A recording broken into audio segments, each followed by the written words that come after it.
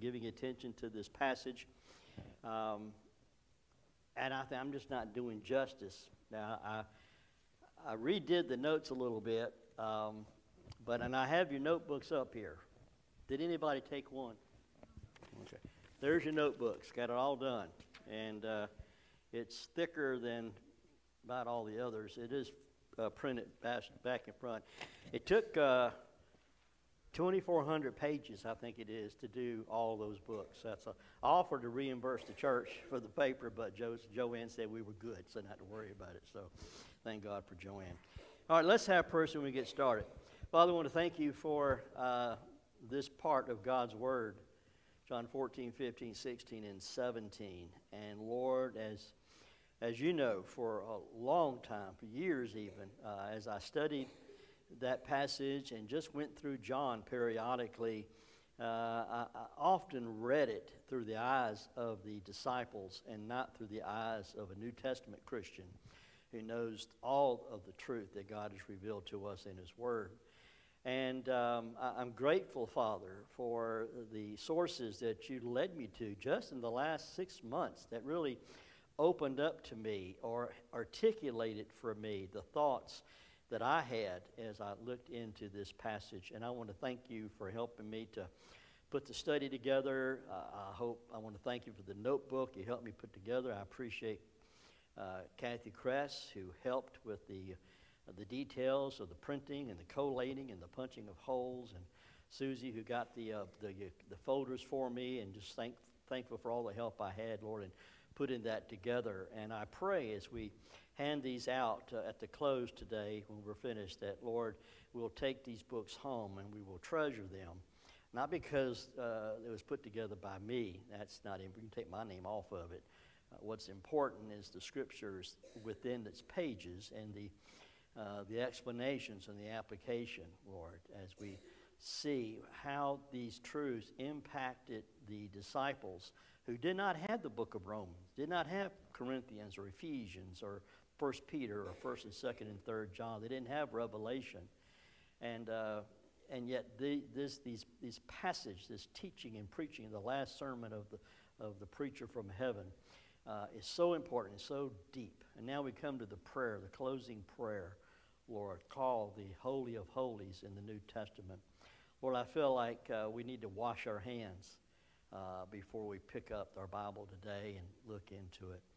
Father, I'm just so dependent upon the Holy Spirit uh, to help me speak these words. And, and I know we're all uh, dependent upon Him to open our hearts and our understanding that we might uh, receive that which you have for us.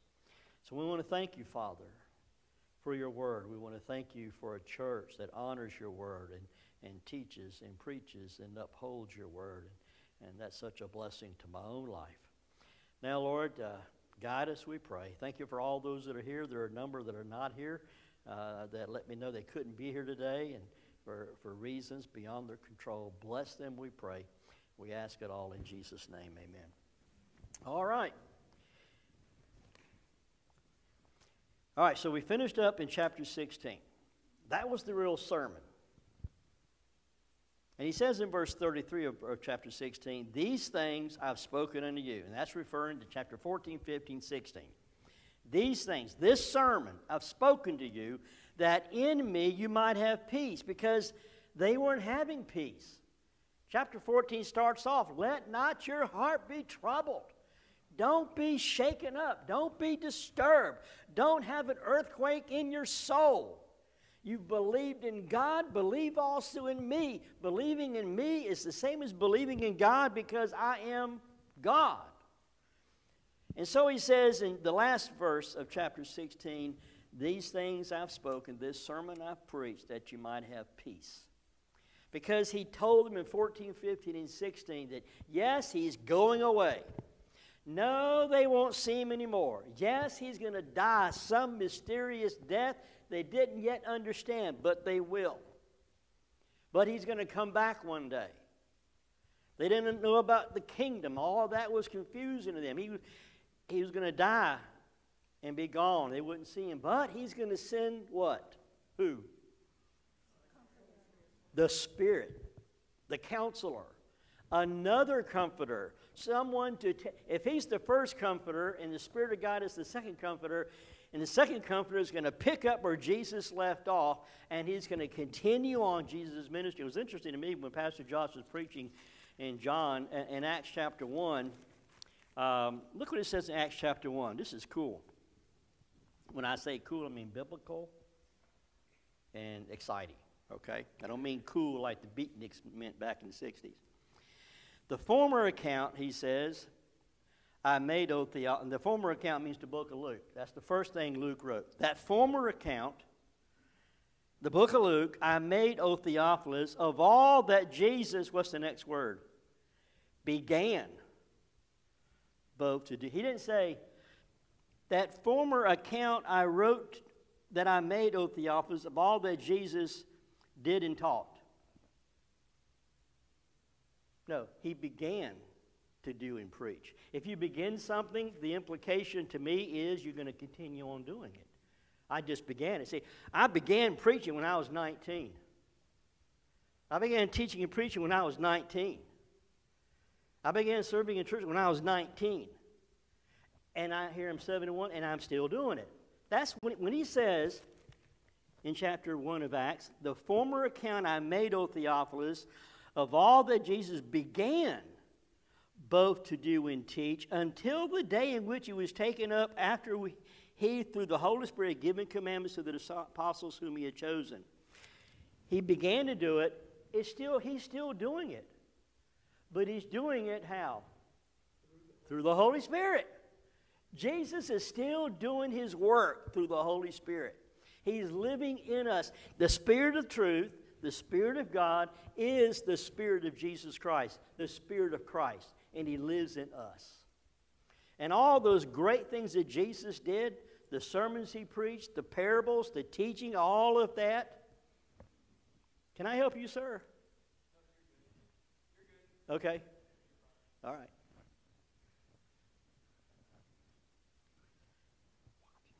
Um,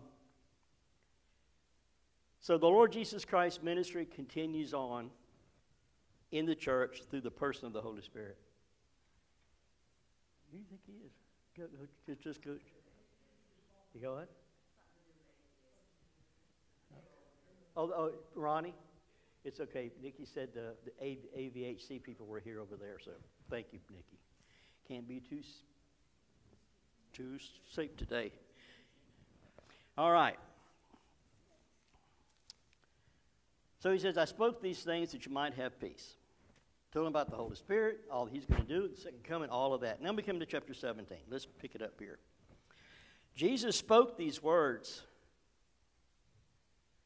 and then he prayed. Look at what he says. He lifted up his eyes to heaven. Well, I like to sing that. He spoke these, and then he lifted up his eyes to heaven. You know what? By this time, they had left the upper room. They were walking through the city on the way to the Mount of Olives. And it doesn't reflect it here, but it tells us in chapter 18, verse 1, that after he had spoken those words, that, that is the prayer in chapter 17, he went out with his disciples over the brook Kidron, where there was a garden. So they're on the this side of the city.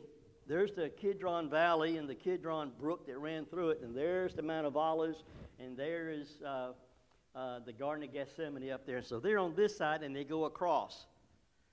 So in chapter 17, verse 1, they're still on that side, the Jerusalem side of the brook. And he starts to pray. And you can take this prayer and you can divide it up in a number of ways. There's several outlines, and you'll see it in the notebook. Most divide into three parts. One says uh, it's Jesus and his Father, verses 1 through 5. Jesus and his current disciples, verses 6 through 19. Jesus and his future disciples, that'd be us, verses 20 through 26. One preacher or theologian said verses 1 through 5 is glorification, 6 through 8 is revelation, 9 through 12 is protection, 13 through 19 is sanctification, 20 through 23 is unification, and 24 through 26 is reunification. That's a little more detail than I was interested in. My own outline is like this 1 through 5, Jesus looked upward. He says he looked up. Verses 6 through 19, he looked outward. He looked towards his current disciples. And then 20 through 26, he looked forward. He looked to those who would believe in the future through the words and the testimony and the ministries of his 11 disciples, soon to be 12 once they chose Malachi, uh, Matthias. Well, let's look at the first. Father, the hour has come. Glorify your Son, that your Son also may glorify you. Now, what hour is he talking about? The, what hour? His death. He'd been looking for that hour. It was to that hour he was born. That's why he's been living his life all this time for that hour. Go back to chapter 12, just back a few, is before he started the sermon. Chapter 12, 23 and following. But, Philip, but, but Jesus answered them, saying, The hour has come that the Son of Man should be glorified. Most assuredly, I say to you, unless a grain of wheat falls to the ground and dies, it remains alone. But if it dies, it produces much grain. He who loves his life will lose it. He who hates his life in this world will keep it for eternal life. If anyone serves me, let him follow me. That where I am, there my servant will be also. If anyone serves me, him my Father will honor. And then he says, verse 27 of chapter uh, 12 Now my soul is troubled. Why was his soul troubled the night before he was, the night he was betrayed? He knew what was coming. And we saw last week, he, he, he, he didn't know that simply because he was God and he knew everything. Remember, we saw in the scriptures that he had limited some of his, his, his attributes, he had emptied himself, and he didn't have the omniscience that he had when he was with the Father. He didn't have the omnipresence that he had when he was with the Father. He limited himself. He gave up some of the rights of his deity, and omniscience was one of them. He had to grow in his wisdom, he had to increase in his knowledge. And so he had to study like any other Jewish boy did. He had to go to synagogue like any other Jewish boy did. He had to read Isaiah and Joel and Ezekiel and Malachi and, and, uh, and Micah to learn all the things about the coming Messiah. And as he read those things, it dawned on him, especially the book of, of, uh, of Isaiah about the suffering servant. He realized, I'm the one. I, I'm the lamb. It hit him as he read the scriptures. And so we come here in chapter 12, and he says, Now my soul is troubled, verse 27. What shall I say? Father, save me from this hour? But for this purpose I came to this hour. Father, glorify your name. Then a voice came from heaven saying, I have both glorified, I'll glorify it again. Therefore the people who stood by and heard it said, it, it said that it thundered. Others said, An angel spoke to him.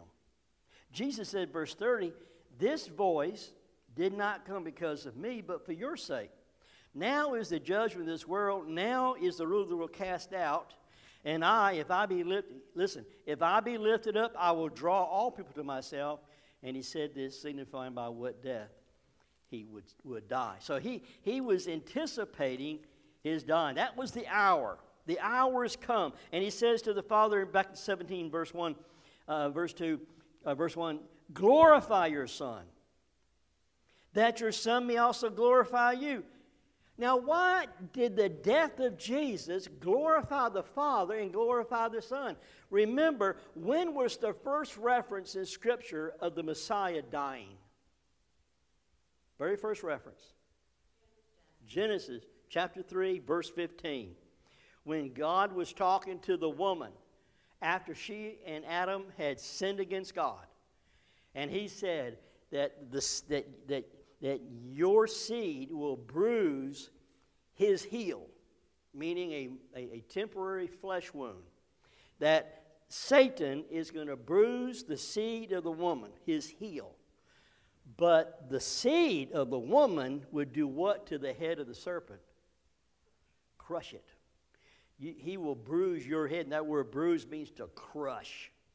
And so that's the hour that he's coming for, and that's how God is going to be glorified because that fulfills this great redemptive program that God had planned going way back to Genesis 3 and before that, because the Bible says that the Lamb of God was slain before the foundation of the world.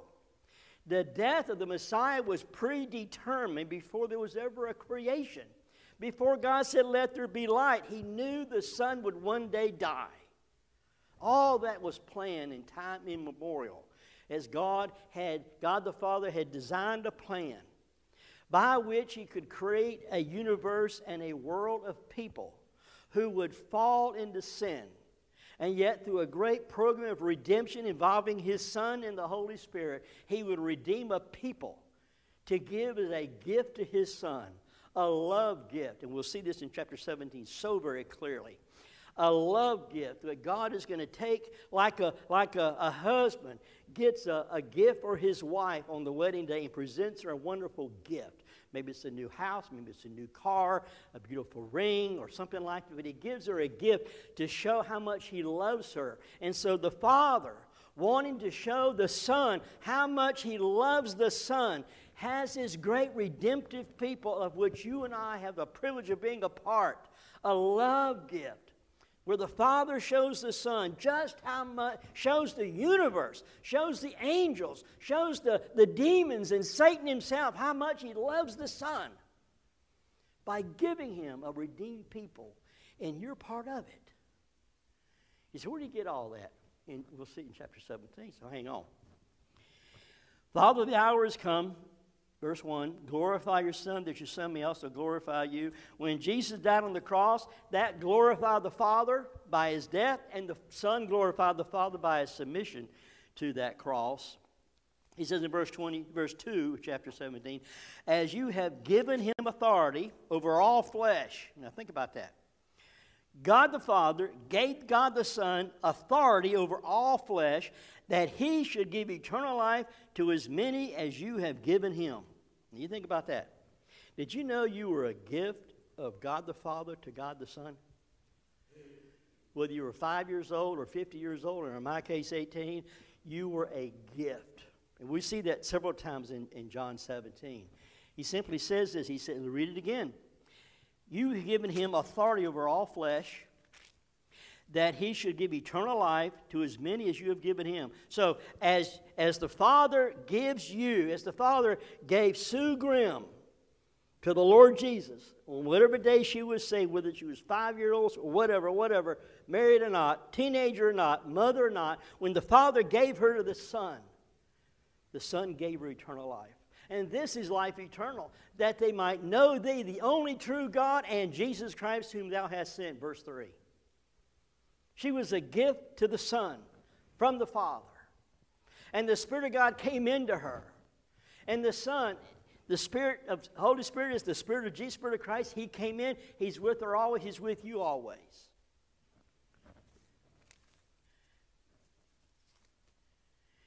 I'm thinking about this authority that Jesus had. Go back to chapter 5 and, uh, and John. John chapter 5, verse 25. This is interesting. In fact, I was reviewing this morning, and I, I mean, I did this weeks and weeks, a couple of months ago, actually, but just this morning, I saw it. Chapter 5, verse 25.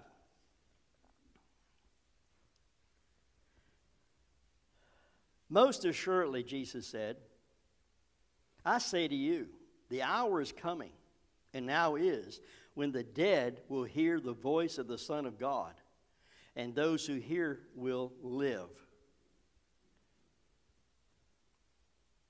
For as the Father has life in himself, so he has granted the Son to have life in himself, and has given him what?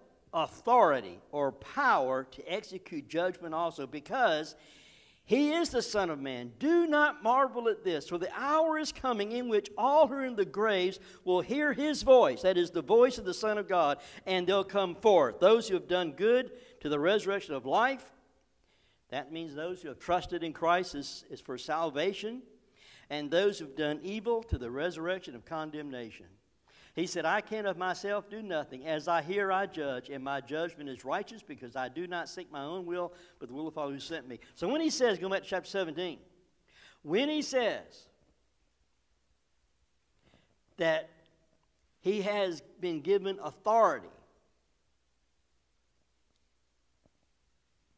he can raise the dead. He has that power to do that. So when you and I are dead in our graves, whenever that is, and Jesus comes back, and he ra- we, we said this in our Sunday school class just this past Wednesday in Revelation, uh, Philippians chapter 3, how God is going to transform our lowly bodies and be conformed to Christ's glorious body. That's going to happen at the resurrection after we're dead because we've trusted Christ for our salvation. He died for us, rose again for us. And when, when we're dead and our bodies are buried or cremated, it doesn't even be blown apart to atoms. It doesn't matter because God can put it all back together. Susie gets a puzzle. She loves puzzles. And she, the, more, the, the more pieces, better she likes it. Thousand piece puzzles doesn't, inter, doesn't in, intimidate her. Thousand piece puzzle. She puts it all together, makes it good. Listen, that's, that's, that's all your body is when it decays. It's just a big puzzle. Now, it's atoms and molecules and all, and maybe scattered, but that's no big deal to God because God is what? All powerful, omniscient, omnipotent, eternal. It's, it's child's play for him to take a body that's been cremated or a body that's been decimated or a body that's decayed and put it back together and make it like Jesus is. It's going to be great. And Jesus has that authority. The Father gave it to him. And, and, and so Jesus is praising the Father, glorifying the Father for this. He says in verse uh, 4 I have glorified you on the earth. I have finished the work which you gave me to do. What was the work? The work that he gave me to do was to raise up these disciples, instill his life, his truth into them, save them, prepare them to be his apostles, and not just them on the day of Pentecost, how many disciples were in the upper room? Somebody say 120. Take 12 from 120. What do you have? Come on. 108. And then take Judas out of that. You got 107, right?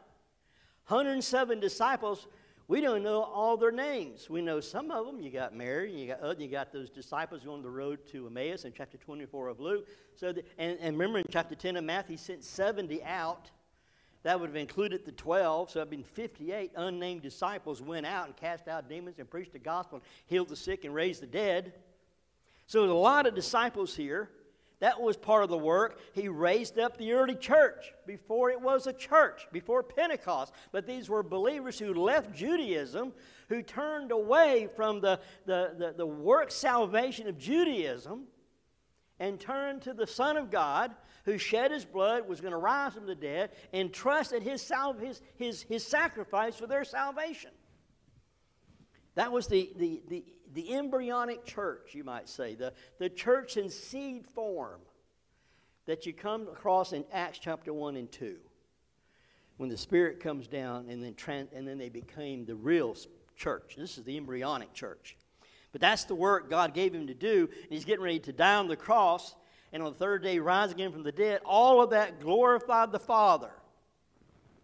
And then he says in verse 5 And now, O Father, did he say, oh, Father? When you say, women, when you say to your husband, oh, oh, David, oh, Ron, oh, Don, you know, doesn't that kind of, it's, it's a term, I think, of endearment, right? You might be exasperated. Oh, Ron, Ron, oh, Dave, you did it again. You know, but it's a term of, of affection, of endearment that you're special. And I think when he says, Oh, Father, oh, Father, oh, Father, my Father, with whom I was before the foundation of the world, we were face to face before the world was. Oh, Father, glorify me together with yourself, with the glory which I had with you before the world was. And you think about that. There's a lot of things to think about in this. How many times have I said that? I'll have to watch the video. But it's amazing. Glorify me together with yourself. In other words, oh Father, glorify both of us with the same glory which I had with you before the world was. You see, when Jesus left heaven and was conceived in the womb of that young girl Mary by the Holy Spirit, who was betrothed to Joseph, who had no clue what was going on at that time. When that Son of God left heaven and came to earth as an embryonic child in the womb of Mary, he had been dwelling in the, with the glory of the Father before the foundation of the world. You say, well, what is the glory of God? After reading and studying, lost track of the experts, I got to tell you, I don't really know. It's, it's that what Paul calls the un- unapproachable light that no man can go into. No it's just a, it's a bright, celestial, eternal light that if you stare at it, it'll blind you. No man has seen God at any time. Why? Because he dwells in a light.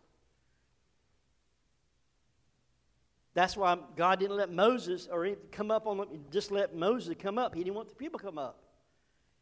And he shielded him in that rock. I want to see your glory. Well, I want to get in that rock and I'll show you the hind parts. Because no man has seen God and lived. The bright, celestial, eternal light of God, that glory of God the Father had with, with the Son and the Son had with the Father before the world was. The first word that comes to mind in these first five verses is glorify. Glorify me. I'm going to glorify you. With that glory we had back before there was a before there was a universe, we had such fellowship. You and me and the Holy Spirit, the three of us, the three in one, the only true God. He says in verse 3, we didn't even mention, spend much time on that, but he says, "And this is eternal life, that I may that they may know you, the only true God, and Jesus Christ, whom you have sent." That's and he calls him the only true God. If he's the only true God, does that mean there's any other gods? No.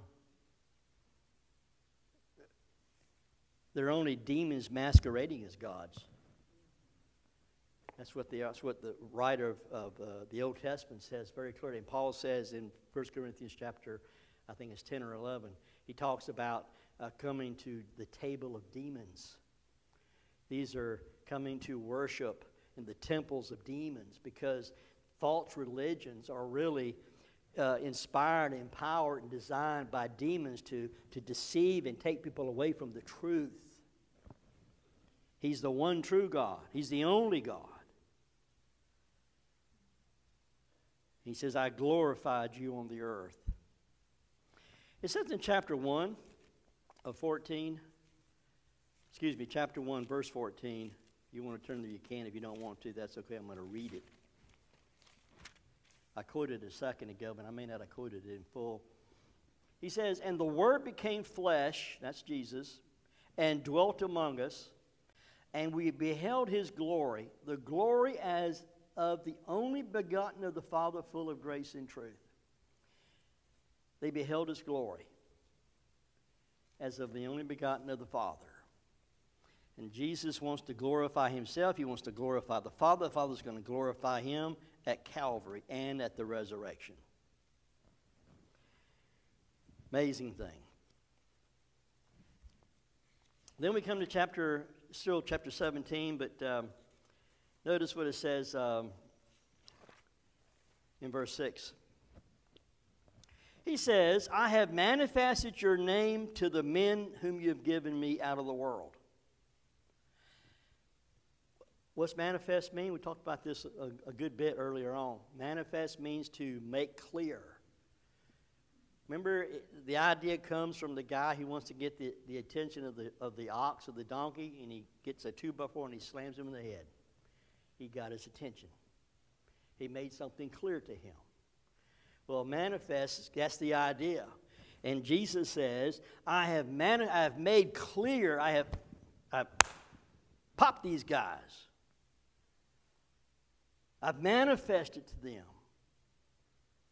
your name to the men you've given me out of the world. So you think about Matthew and you think about John and James and Peter and Thomas and Simon and all these guys. They were given to the Son out of the world.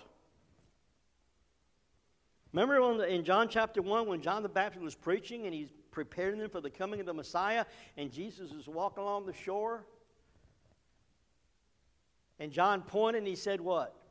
Look, behold, the Lamb of God who takes away the sin of the world. And, and two of his disciples stopped following John and began following Jesus. That was Andrew and John. They began following him. And then they went and found John, uh, uh, Andrew and James. They went and found John. And then they went and found Philip, and they found Nathaniel. And then later on, they found Thomas. And all, one by one, all the others came. They had all 12 of them there following Jesus, following him. I've manifested your name to these men that you've given me. They were yours. You gave them to me, and they have kept your word. Now they have known that all things which you've given me are from you. For I have given to them the words which you have given me, and they have received them, and have known surely that I came forth from you, and they have believed that you sent me. So, all those sermons Jesus preached, all the parables he taught, all the teaching that he taught came from the Father. We've seen that before. He said, The words that I speak to you, they're not my words, they come from the Father. This sermon here, chapter 14, 15, and 16 in John, this sermon comes from the Father to the Son. He says, I've, verse 8, I've given to them the words which you have given me, and they have received. By the way, the word received, you know, if you, if you go, the, you get a knock at the door, and it's the mailman, and he has a little package for you or something, or it's too big for your mailbox, and he blew the horn, he didn't come out. So he has to put the park, put the truck in park, get out, come down the driveway, knock on your door, and you see him, you open the door, he's he got a package for you, and you take it. I wonder who sent this. You, oh, okay, that's cool. You, you just take it. But on the other hand, when your wife, on your birthday, or anniversary, or your husband on your anniversary, or some other notable day, says to you, I've got something for you. And you say, Well, what is it? I just want to give it to you because it shows how much I love you. And he reaches in his pocket or she reaches in her purse and pulls out this little thing and hands it to you. Or you can just say, Oh, that's nice, and throw it on the kitchen table. That's what you do with the mailman. Oh, okay, this belongs to Susie oh, this is mine. I'll get it later. You know, I'll open it up later. But when you get that gift that you know is special, you're going to receive it with eagerness. In fact, the word receive here means to grab. You tear it out of their hands. what is it? You see, that's the idea. I have given to them the words which you've given me, and they have grabbed them. They've embraced them. They've taken them and have known surely I came forth from you. They understand the incarnation. They understand that my life did not begin in Bethlehem town. My life began in heaven, didn't even begin. I've always been God, I've always existed. My life never began. I'm an eternal God with the Father, and now I came to earth. And they've accepted that. And they've known that I came forth, and they have believed that you sent me. They knew a lot. How did they know a lot? Because Jesus had preached the word and the Holy Spirit had done what? Open up their eyes. There's a lot of things these guys didn't understand. But the deity of Christ wasn't one of them. Then they were a little confused about the return, I'll grant you. They're a little, little understand, understand a whole lot about him going back to heaven and establish the kingdom later on. They didn't understand that the coming of Christ and the kingdom was in two parts the first coming and the second coming. They didn't know about all that. That was kind of a mystery to them. Paul will explain that to them later, and John. But right now, as far as the incarnation of Jesus Christ, they were spot on with that. They knew the Father had sent him, they knew he had come down, he, they knew it had been, been with the Father, they knew who he was. And they had received and grabbed and embraced the words what the Father had given him, given them. He says in verse 9, I pray for them. Wow. Can you imagine what these guys must have thought? They're sitting there. Their hearts have been broken, their hearts have been troubled. And he had been preaching now for three chapters 14, 15, 16. Preaching. Now he's praying for them. And he says, I pray for them. I do not pray for the world, but for those whom you have given me. For they are yours. And all Mine are yours, and yours are mine. And I'm glorified. In, let me ask you a question. Are y'all feeling secure today in your salvation? You should be. You were a gift of the Father to the Son. And the Father's not an Indian giver. No givesy backsies. The Father gave you to His Son.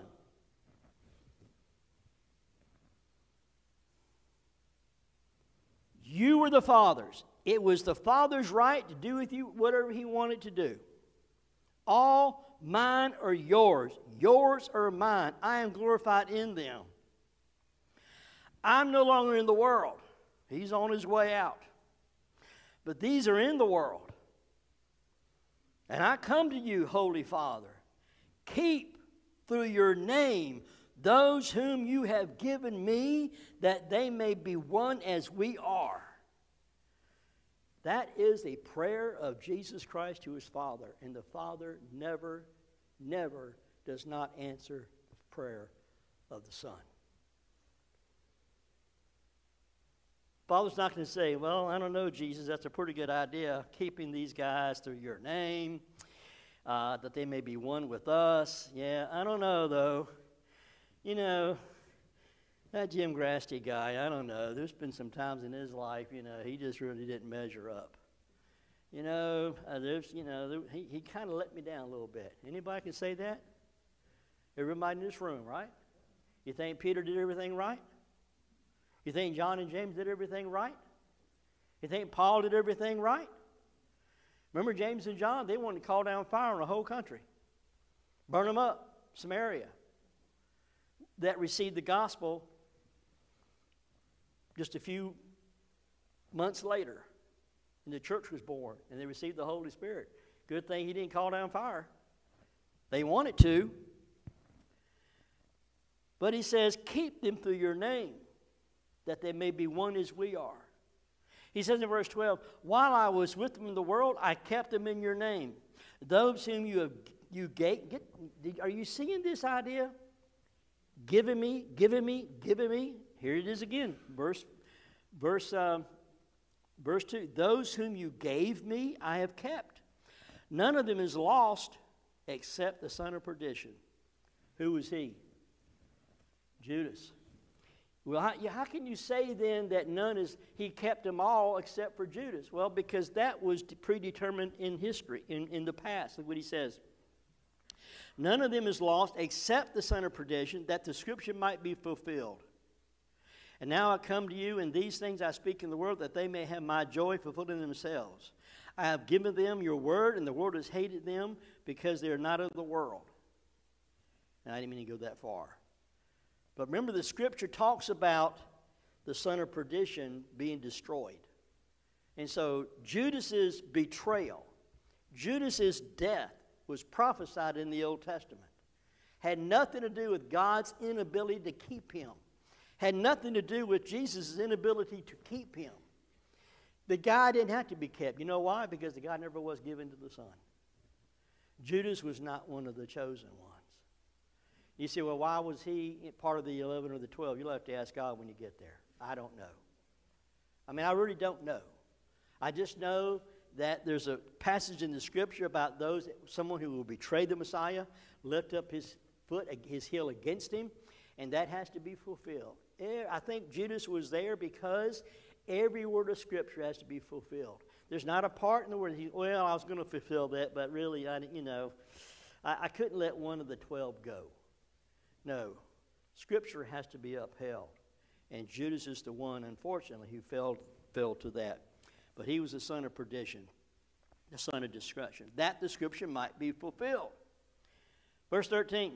But now I come to you, and these things I speak in the world, that they may have my joy fulfilled in themselves. Here's again, again, a reference to his sermon. Remember last week we saw all the times he said these things, these things, these things.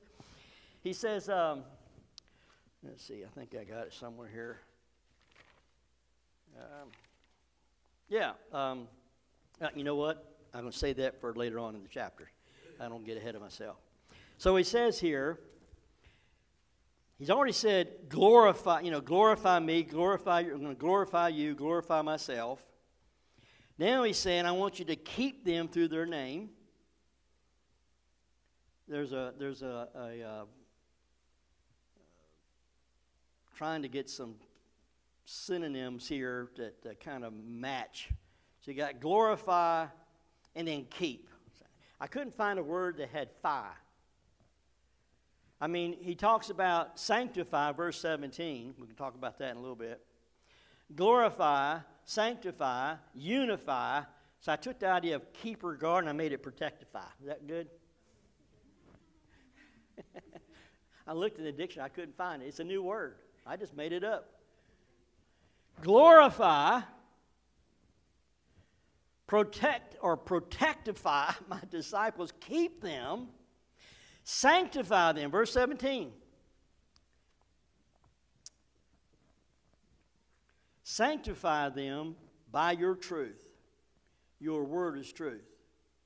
As you sent me into the world, I also have sent them into the world and for their sakes I sanctify myself, that they may be sanctified by the truth. You see, all the Word of God, what does sanctify mean? It means to set apart and make holy. It means to set apart for a holy purpose. It's to sanctify and make holy. When that sanctification is that long, lifelong process that begins the moment that you're born again. The moment you're justified by faith, God starts you on that road of sanctification. And it doesn't end to glorification. But it's that process by which we begin to become more like Jesus in our character, in our heart, in our thinking. And we're being more from, we're changed from one degree of glory into the other. Paul told the Corinthian church that you stare into Scripture. You stare into, the, into Scripture, and the veil's taken away. And as you gaze into it, the perfect law of liberty, we're transformed into the same image from glory into glory. Paul said to the Ephesian elders in Acts chapter 20, I commit you unto God and to the word of his grace, which is able to build you up and sanctify you. Jesus says, Father, I have given them your word. I have preached your word. Sanctify them by your truth. Your word is, that's why he calls the Holy Spirit. How many times? The Spirit of truth. He'll take the things of mine and show it unto you. He'll bring all things I said to your remembrance. He will teach you, He will instruct you, He will change you, He will empower you. You abide in me, you will bear the fruit of the Spirit. Set them apart by your truth.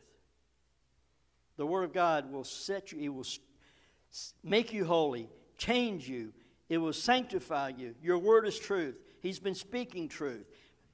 They're filled with the Spirit of truth. I was um, wanted you to see what he said here uh, about the these things. Chapter 15. Chapter 15, look at uh, verse 11. And these things I've spoken to you, that my joy may remain. Do you think they needed joy on that last night? yeah, they needed a lot of joy. And he says, Well, this sermon I'm preaching gives you joy. Because it tells you, even though I'm going away and I'm going to die, it's telling you that the program is not coming to an end. There's still a plan. I'm going to be glorified. You're going to be glorified. Salvation has been purchased, it's been wrought, it's going to be yours eternal. So he says, I, uh, I, I, speak these things that you might have joy. Their hearts are troubled. but he wants them to have joy. In chapter 15, verse 17, he says this These things I sp- command you that you love one another. So he's been given the words and commanding that they will love one another. So they have joy, they have love. And then in verse chapter 16, verse 1, he said these, these things I spoken to you that you should learn that you should not be made to stumble. If you stumble, what's the opposite of stumble? Stand, would you say, Dinah? No, the opposite of, of okay. Uh, the opposite of stumble. Standing, standing firm, stability. He says, I'm speaking these words that you would have stability. I spoke these words you might have love. I spoke these you might have joy. Verse 33 in chapter 16, he says, These things I've spoken to you that in me you might have peace. They need peace tonight. They're, they're all in an uproar, they're disturbed.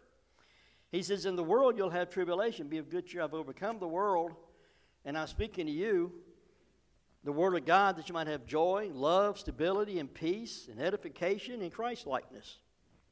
So, no wonder he could say in chapter 17, verse 17, Sanctify them by your word. Your truth, your word is truth.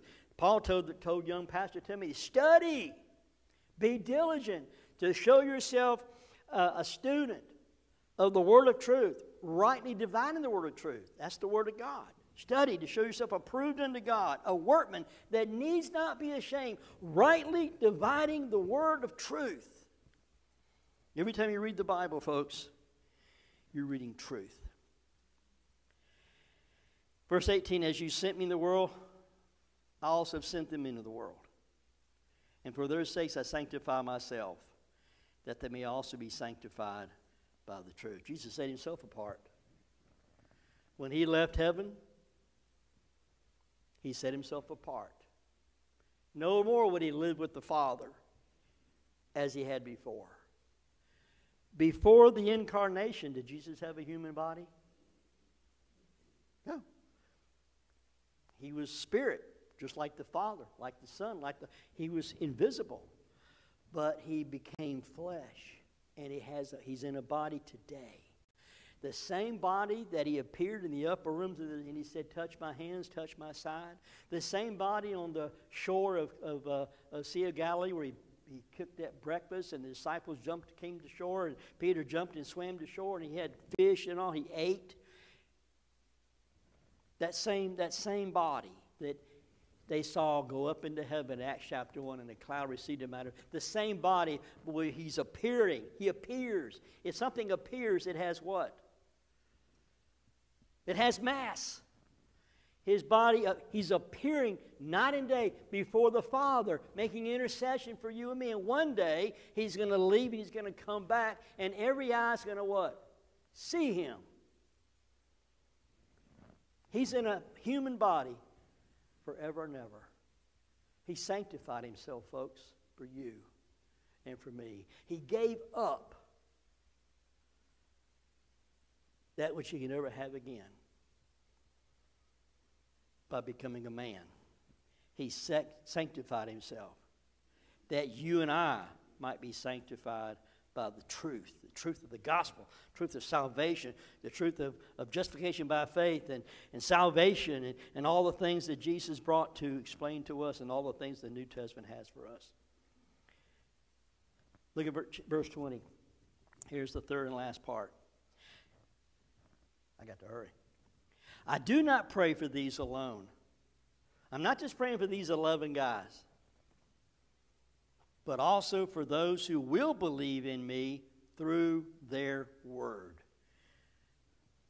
I got saved through the word of John the Apostle as I read in the Gospel of John about who Jesus was in chapter 1 how the word became flesh. I never, I never knew any of that. I told you what I thought Jesus was somebody that God adopted. Just saw him running around Jerusalem. That's a cute guy. I think I'll adopt, make him my son. That's what I thought. I had no idea that before Bethlehem, Jesus existed in heaven and he came to earth. That I didn't know. I didn't know that. I had to read it through the Apostle John, his words and of course Paul and, and the others. He's, but they may, that they may believe in me through their word, that they all may be one as you, Father, are in me. Now get this. Talk about salvation and eternal security. I do not pray for these alone, but I'm praying also for those who will believe in me through the word, that they all may be one as you, Father, are in me, and I in you, that they also may be one in us, that the world may believe that you sent me. And the glory which you gave me, I've given them, that they may be one just as we are one. I in them, you in me, that they may be, may be made perfect in one, and that the world may know that you have sent me and have loved them as you have loved me. Wow. That's amazing. I get the picture at a seminary professor. He brought a mixing bowl to class one day, and he set this big mixing bowl. And he poured flour in there.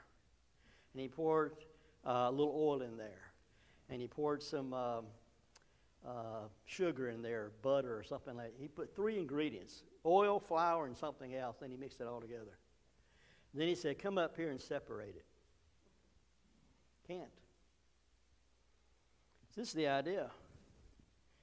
That oil, that flour, that, that, um, that butter, whatever it was, it's all one. Jesus says, And the glory which you've given me, I've given them, that they may be one just as we are, I in them, you and me, that they may be, be made perfect in one, that the world may know that you sent me and have loved them as you have loved me.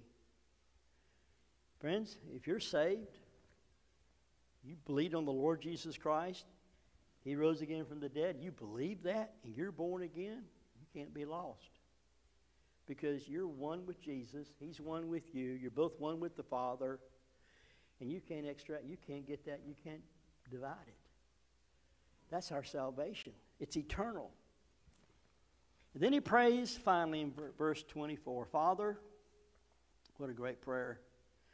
What a close. Father, I desire that they also whom you have given me, gave me, be with me. Now, didn't he talk about that in chapter 14? Isn't that how he started this whole thing, chapter 14? Let not your heart be troubled. I go prepare a place for you, and if I go and prepare a place for you, I will come again and receive to myself that what? Where I am, you'll be also. Here he's praying about that. I desire that they also, whom you've given me, may be with me where I am, that they may behold my glory, which you have given me. For you loved me before the foundation of the world. O righteous Father, the world has not known you, but I have known you, and these have known that you sent me, and I have declared to them your name, and will declare that the love with which you love me may be in them, and I in them. And when Jesus had spoken these words, he didn't even say amen. When he spoke those words, he went out with his disciples over the brook Kidron, where there was a garden, which he and his disciples entered. And you know the story. He went down, he went off, and he fell on his knees and he prayed. And he prayed so three times, and blood, like sweat, like drops of blood, fell on him. You know, and he wanted uh, Peter, James, and John to, to pray with him. But what did they do? They fell asleep. At least they fell asleep after the sermon, not during the sermon. But they fell asleep. And he woke up. Can you not wait, watch just one hour? This is what? They're just falling asleep. They need some coffee. And then what happened? After the third prayer, there's a disturbance. They hear the gate rattle and they see torches coming and a great crowd. And who's leading the crowd? Judas. They got torches and spears and swords and staves. Staves are like clubs. And they came in and he said, and, and Judas kissed him to betray him. And they said, Are you Jesus? And they all fell to the ground because he said, What? I am. I am. Well, I could go on another hour. but I better not. So I want to thank y'all for your um, faithfulness. I want to thank y'all for giving me two extra weeks. I could have taken four, um, but didn't want to do that. Didn't want to take advantage of your generosity in your schedule. Thank you. Uh, do me a favor, if you would. Please pray for um, the study and this coming the summer Bible study in July and August. I'm really wrestling with what to do. I think I know what I'm going to do. I think. I'm not going to tell you. But it's an Old Testament book, very unusual book. Very unusual book. In fact, it's unlike any book in the Old Testament. But we're going to study that. I think that's what we're going to do. Not positive, but would you pray, Lord, if that's the book you want Jim to do, would you just make it clear to him? If that's not what the Lord wants me to do, then show me, you know, something else. Okay? But I need something a little simpler than what we just did. I got to give my brain a rest. Uh, I really do, you know. So, all right, we're going to have prayer, and then come up here as you leave, and I'll give you your notebook. Okay? Father, I want to thank you for your word. Thank you for the Son of God. Thank you, Lord, for everyone here who knows Jesus as Savior. I want to thank you for that day.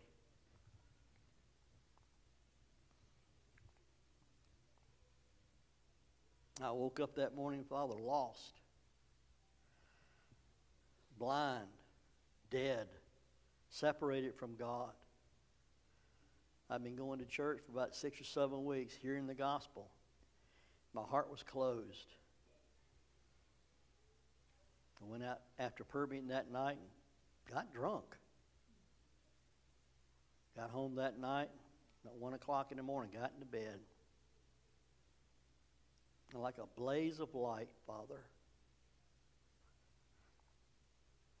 suddenly I understood. And I got out of bed and got on my knees and asked Jesus to save me.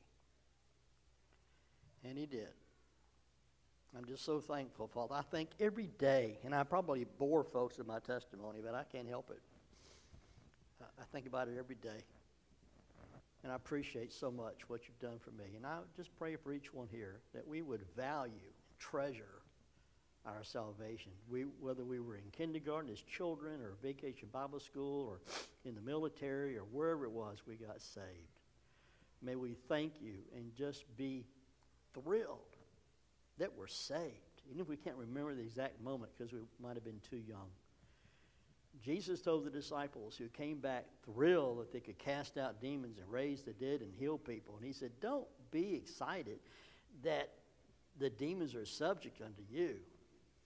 Rejoice that your names are written in heaven. That's, that really is what makes us excited that we're saved.